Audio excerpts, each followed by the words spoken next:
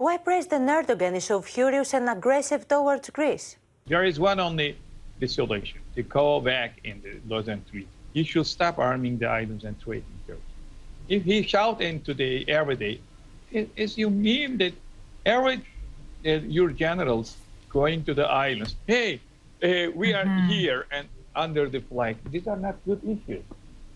Why? Because international law and observant treaties saying the pacta sunt servanda. Otherwise, Turkey will open its legal rights in agency and its studies in the islands into the question. Mr. Yasin, these islands are Greek and the ministers can visit them whenever they want. Turkish forces have also been deployed opposite these islands on the Turkish coast. What's your comment? There is no competition between each other. You buy a lot of Rafale pipelines. You modify F-16, and thanks to the America, they promised to you 40 new F-35.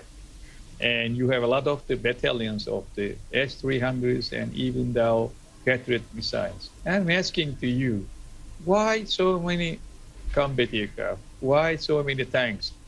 1,200 the Bradley, the, the vehicles going to the islands. And if someone saying these weapons against Russia, unbelievable. It is impossible that these tanks shut down the, the Russians. And that time, uh, the Turkish uh, public opinion is suspicious about it. Do you think that there's a possibility of conflict in the Aegean? Mitsotakis government is deliberately and unilaterally escalating the tensions. We are looking like this, and Turkey is using its strategic patience. This is very critical.